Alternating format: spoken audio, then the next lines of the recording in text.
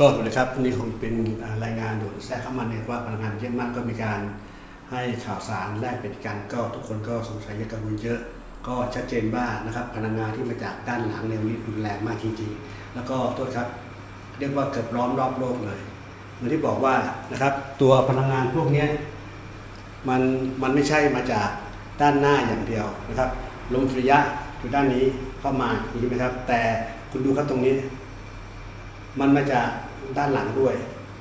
และคิวแรงคือมาจากด้านล่างขึ้นบนจากบนลงล่าง ตอนนี้มันตะลันเบลเนี่ยขยายขยายตัวมา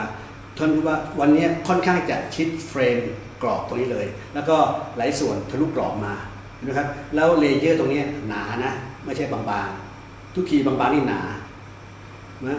เราไม่เคยเห็นว่าพลังงานเนี่ยอ้อมเข้ามาทางด้านหน้าอย่างนี้มาก่อนเลย ส่วนมากอยู่ช่วงกลางคืนใช่ไหมครับแล้วก็วกมาตอนเช้า ด้านหน้าจะน้อย แต่วันนี้ครับมีเท่ากับ 4 วงนะครับ ถ้า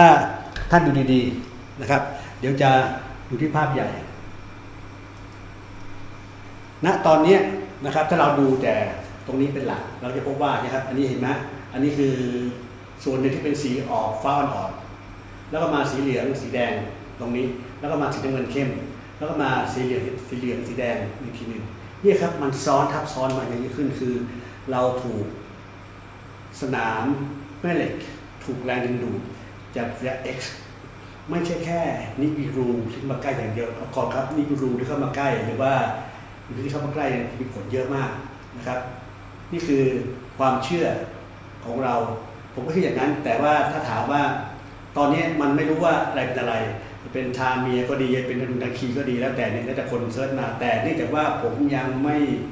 เห็นจริง ๆนะครับ ก็ไม่สามารถบอกได้ว่าไอ้ตรงนี้มาจากนี่ไม่รู้ใช่ไหมไอ้นี่มาจากทาเมียใช่เปล่านะฝรั่งก็ถ่ายภาพมาบอกว่างั้นนี้มาปั๊บเนี่ยแต่เวลาอุปกรณ์เราตอนนี้ที่บอกว่าทุกอย่างมันเสียก็หมดนี่ก็เช็คระดับไม่ได้ต้องเอาข้อมูลพวกนี้มาเคราอีกทีหนึ่งแต่ที่แน่คือ มันมีแรงดึงดูด และทำให้เกิดการเคลื่อนไหวของแผ่นดินเยอะมากอย่างเช่นตอนเหนือของอินเดีย ของแคชเมียร์เนปาลอัฟกานิสถานเนี่ยปากีสถานเนี่ยชัดๆว่ามันเกิดการดันตัวไปและจะเกิดการเกิดเหมือนกับเป็นเป็นทะเลสาบภายในขนาดใหญ่ขึ้นมาวันนี้ที่เท็กซัสครับที่ทางด้านวิเซนา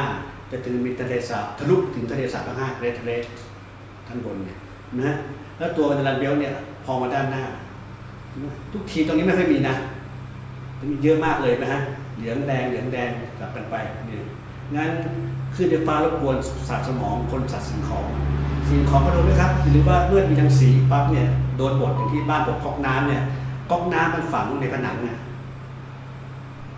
ทำไมก๊อกเดียวมีไฟฟ้าโผล่มาสายไฟฟ้าไม่ได้ผ่านตรงนั้นเลย ก็ยังพยายามหาสาเหตุไล่ไม่เจอ ในผนังที่เช็คมาไม่มีไฟฟ้า แต่ที่ก๊อกน้ำมี แล้วก๊อกน้ำเป็น PVC ถูกไหมครับท่อ PVC เย็นในผนัง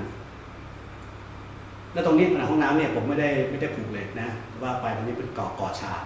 นี่บอกเงินไม่มีก็คือเทไม่ได้ก็จะก่อฉาบเองก่อฉาบไปภายใน ไฟฟ้าแบบนี้นี่มันมาขนาดจริงๆนะครับยิ่งมาดูตอนเนี่ยลมสุริยะ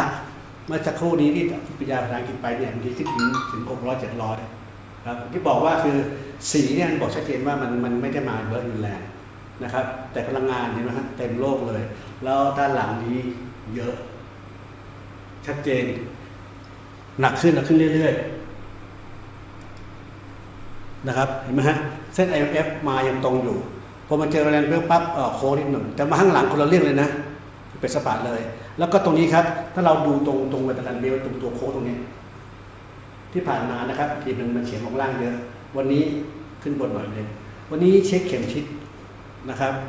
เข็มทิศที่เคยไปที่ประมาณ 40 องศา 42 องศาจากทิศเหนือทิศเหนือแม่เหล็กเดิมนะที่เอมันทางซ้ายเนี่ยวันนี้มันตีกลับทางตรงเลยเฮ้ยทำไมมันกลับไปกลับมาแบบเนี้ยเป็นช่วงๆตัวความสูงความกดอากาศก็ผันผวน ขึ้นสูงมั่ง วิธีผมไม่ยากนะครับ ผมจะซื้อฮานามิอันหนึ่งซองหนึ่งซื้อเลมาซองหนึ่งแล้วซื้อถั่วมาซองหนึ่งก็วางไว้เนี่ยสังเกตดู วันดีคืนดี หลายวันหลายครั้งเนี่ยอยู่ๆถุงฮานามิเนี่ยมันโผงใหญ่ขึ้นมาแบบจะระเบิด ซึ่งก็สอดคล้องกับความสูง แรงกดอากาศ มันเปลี่ยนแปลงไป วันดีคืนดีถุงเลพองป่องเป็นอ่างเลยครับเห็นไหมท่านซื้อถุงเลมาเนี่ยในในถุงเลมีอากาศใช่ไหมครับ แต่มันจะไม่พองแข็งปังขนาดนั้น นี่คือความกดอากาศเปลี่ยนแปลงไป เช็คไม่ยากงั้นเมื่อมันเปลี่ยนแปลงขนาดที่ปั๊บเนี่ยอันตรายเข้ามาก็มากมากขึ้นเรื่อยๆ ยิ่งมาดูขั้วแม่เหล็กนะครับ ที่ขั้วเหนือใต้เนี่ยก็ยังชัดเจนเห็นไหมฮะตอนนี้ เข้ามาทางด้านออสเตรเลียทางด้านเพิร์ชวันก่อนนะครับกระจายใหญ่เยอะ 8.9 จุด วันนี้สควิตเล็ก เปลี่ยนสภาพมันถูกบีบ นี่เป็นเหมือนบางครั้งเหมือนสโนว์แมน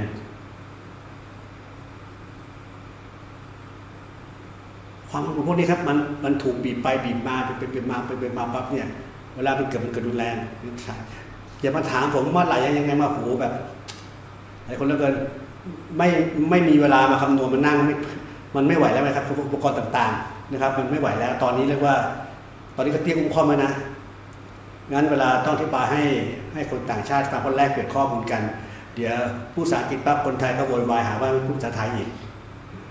เป็นที่อย่างนั้นนะครับงั้นตอนนี้ผมต้องการข้อมูลมากอุปกรณ์ก็มีปัญหาที่บอกไม่พูดอะไรมากแล้ว แล้วก็ทำได้ก็ทำไม่ได้คือไม่ทำนะครับ จบแค่นั้นถึงเวลาก็นั่นเองครับ อย่ามาถามเมื่อไหร่ยังไงนะครับ เพราะว่าความชัดเจนมันมันขึ้น เห็นเห็นอยู่แล้วว่าเนี่ยรุนแรงขึ้น และการยืดตัวพองตัวหายไปของตัวแวนเบลเนี่ยอยู่พองทะลุเฟรมไปของตัวกลับมา ชัดๆว่าความไม่แข็งแรงของสนามไม่เด็กโลกเนี่ยมันมันชัดเจนรุนแรงมากขนาดนี้ทีเดียว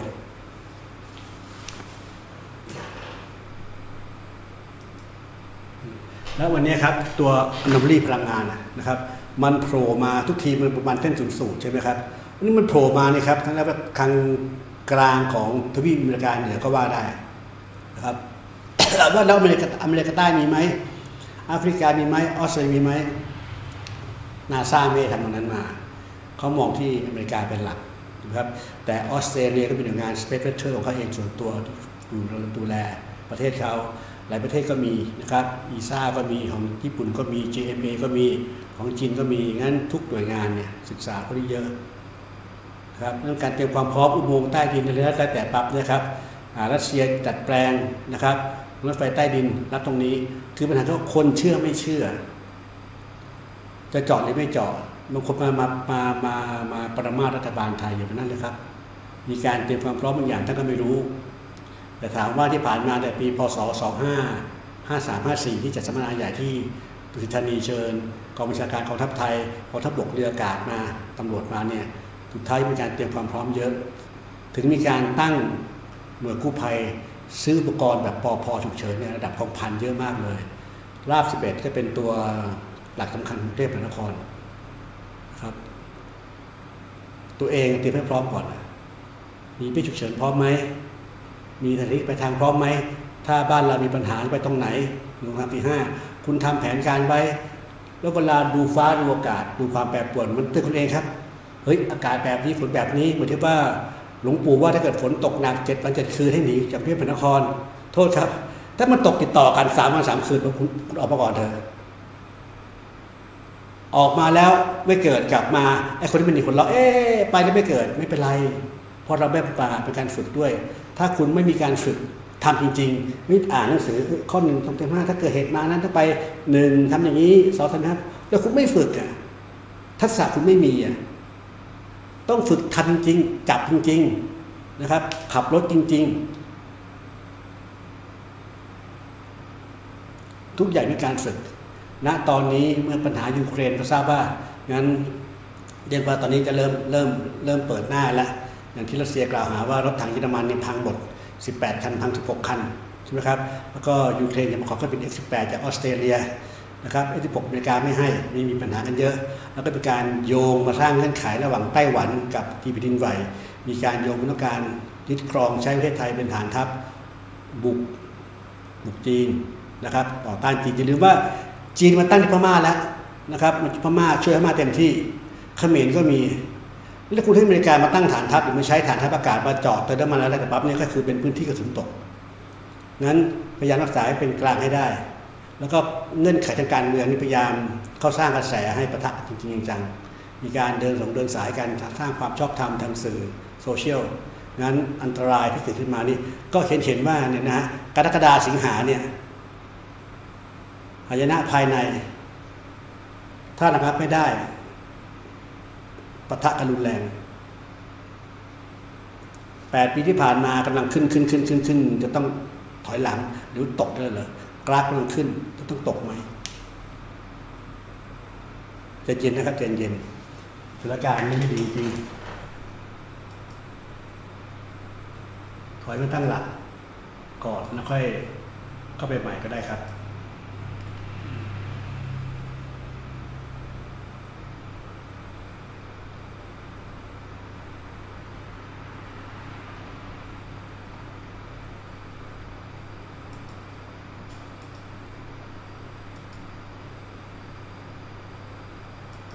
ทุ่นนะครับไม่มีอะไรแต่ว่า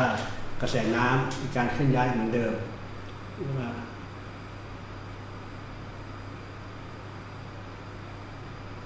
องศาโลกก็ที่บอกครับเอียงไปเอียงมา ถ้าดูนี้ดาวเทียมนะครับจะเห็นว่าโลกเรามีพื้นที่เต็มนะครับว่าเต็มเต็มแต่พอมาดู Google นะครับ Google ปั๊บตรงนี้เป็นเงาเห็นไหมฮะเป็นเงาไม่เต็มกลมเหมือนเดิมแล้วทำไมเป็นเงาอย่างนี้ล่ะ ผมถือว่า Google ก็เตือนเรานะครับว่ามีบางสิ่งบางอย่างที่ไม่ปกติเกิดกับโลกระเรียโลกแล้วนะคุณจะพอเพียงแค่ไหน อากาศนะครับก็ผันผวนไปไปทั่วโลก ความกดอากาศต่ำกดอากาศสูงเนี่ยขึ้นกันมั่วไปหมดนะครับโดยเฉพาะพายุนะที่เราบอกว่าเนี่ยมีอยู่สองสองฝ้า อันนี้ก็ดีคือขึ้นไปหา阿拉สกาครับอันนี้ก็เข้ามาที่อั ฟกานิสถานน่าจะไปอิหร่านต่อทีนึงในขณะที่ความกดอากาศสูงมันอยู่ที่ประเทศตรงนี้มันก็แปลกๆความกดอากาศต่ำอยู่ขวาความกดอากาศสูงอยู่ซ้ายนะครับความกดต่ำอยู่บนแล้วก็ความกดสูงอยู่บนกับต่ำอยู่ล่าง ณตอนนี้เราเห็นว่าอย่างอเมริกานะครับยอมความกดอากาศต่ำเนี่ยมันอยู่ที่ทิศตะวันตกเฉียงเหนือกับประมาณภาคกลางนะครับนั้นการเชื่อมต่อของพายุนี่ที่ผมว่ามีเฮอริเคนมี ต้นมีเทอร์นาโดนะครับที่ว่าเคลื่อนทิศทางจากเหนือลงใต้ ปกติจากขวาไปซ้ายที่จากตะวันออกไปตะวันตก จากล่างขึ้นบน แต่ตอนนี้จากเหนือลงใต้ จากตะวันตกเฉียงเหนือมาทางตะวันออกเฉียงใต้ ซึ่งมันเป็นการที่ผิดปกติอย่างมากๆครับ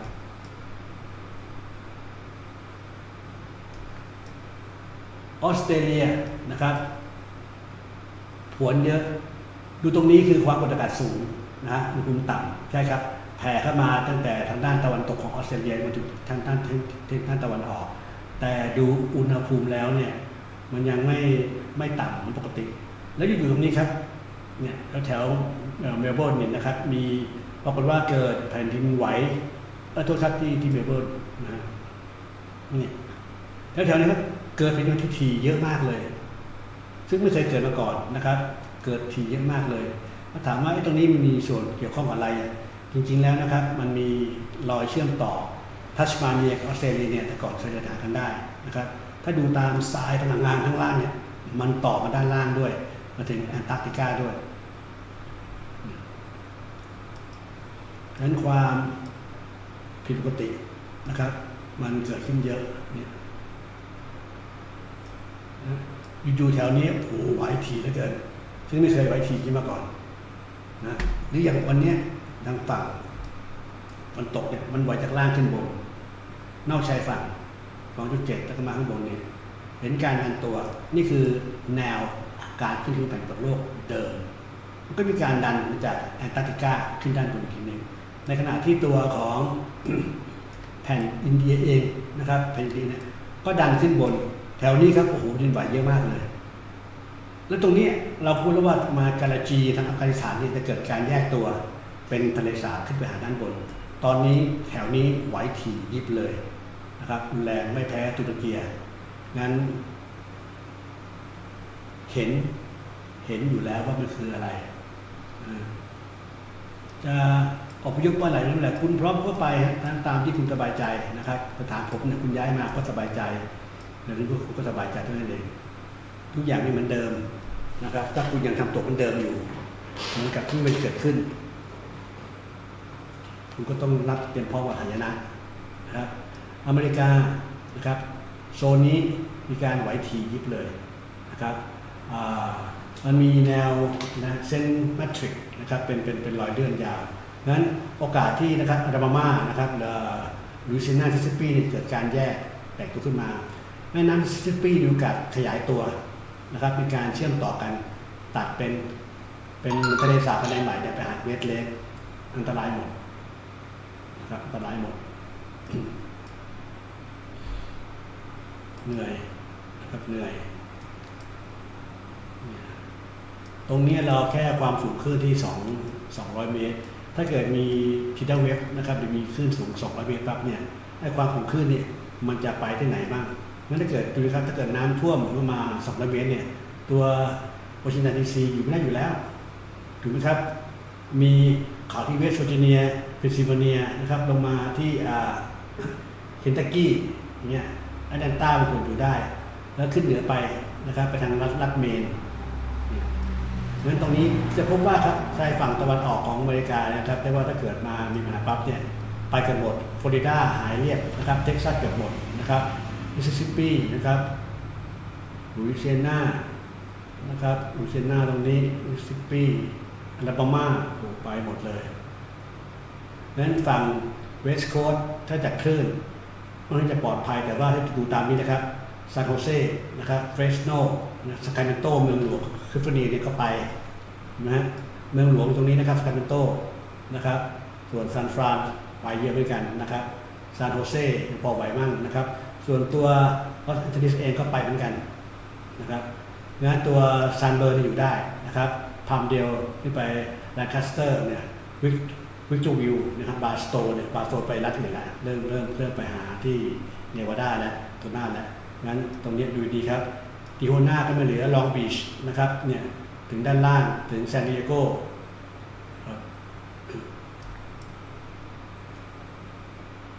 เผื่อไว้ก็ที่ถามมาออสเตรเลียนะครับออสเตรเลียอีกปีหนึ่งมีคนไทยคนไม่ใช่คนไทยมีฝรั่งก็ติดตามเยอะงั้นถ้าเกิดตรงนี้เกิดที่ได้เว็บที่ 200 เมตรออสเตรเลียเห็นว่าไปกันหมดครับ 200 เมตรนะครับเกือบหมดเนี่ยเพราะตัวที่เมลเบิร์นเองตัวที่เองก็ไม่รอดนะมีเขตน้ำท่วมเพราะฉะนั้นคุณก็ดูว่าหาความสูงที่เกิน 500 เมตรสบายใจ สบายใจนอนตลาดนะซิดนีย์นะครับมูรองกองนะครับเมลเบิลนนะครับไว้หมดนะนิวคาสเซิลนะครับอีเวนบิสเบนนะครับส่วนมากอยู่ใต้น้ำหมดเลยวางแผนดีๆนะครับอินเดียดูดิครับ ถ้า 200 เมตรเห็นไหมฮะไปทางนี้เลยเนี่ยงั้นที่ว่าตรงนี้นะครับมันจะเกิดทะเลสาบไปไปหาด้านบนก็ไม่เกินจริงใช่ไหมครับ ดูยุโรปนะครับคนที่อยู่ในลอนดอนนะครับก็บอกว่าลอนดอนก็ไม่รอดนะครับที่จะเว็บเนี่ยงั้นเรารู้อะไรเป็นอะไร มันไม่มีการตายทีเดียวหรอก ถ้ามันตายทีเดียวก็ง่ายดี มันไม่ตายทีเดียวนะครับ แล้วก็มันระหว่างทรมานก็เหนื่อยใจหน่อยงั้นอิทินอยู่นะครับงั้นตัวของสวิตเซอร์แลนด์นะครับ ตัวของออสเตรียนะครับ ก็จะเป็นพื้นที่ที่ปลอดภัยที่ดีที่สุดครับอิตาลีแกนกลาง แบบนี้ครับจำภาพไว้นะครับ ถ้าดูตามนี้นะครับ จะพบว่านะครับยุโรปเนี่ยไปหมดเลยนะครับมอสโกก็ไปด้วยกันงั้นแนวการป้องกันณนั้นจากจุดนั้นเนี่ยเพราะว่าภัยจากน้ำเนี่ยคนตายมากที่สุดแผ่ดินไหวก็จะเบิดคนตายน้อยจากน้ำคนตายมากที่สุดเพราะเราไม่สามารถคอนโทรลได้ครับตัวสวาบาทเองนะครับเฉพาะไอ้ตัวที่ที่ทำธนาคาร ธนาคารเก็บปันพืชใต้ดินนะครับ ก็โดนน้ำท่วมนะ ถ้าขึ้นสูงมา200เมตรเนี่ยประตูจะกันกันได้แค่ไหนครับความรุนแรงหนังสือที่ซื้อไปเปิดอ่านนะสำคัญนะครับ แล้วก็เรื่องเรื่องลมสำคัญเรื่องลมทิศทางลมเป็นยังไงบ้างนะครับนี่นี่เอาแค่ 200 เมตรครับก็คือ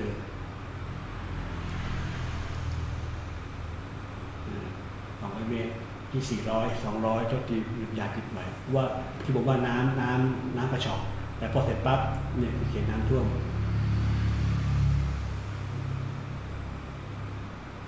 ครับเขตน้ำท่วม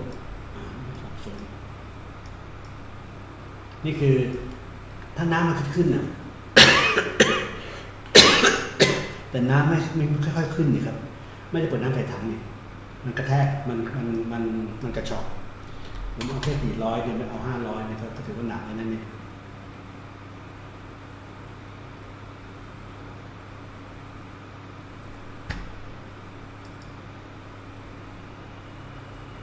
ทุกอย่างเข้มข้นเข้มข้นเรื่อยๆนะครับ คิดก็แยกแยะให้รอบคอบครับ สวัสดีครับ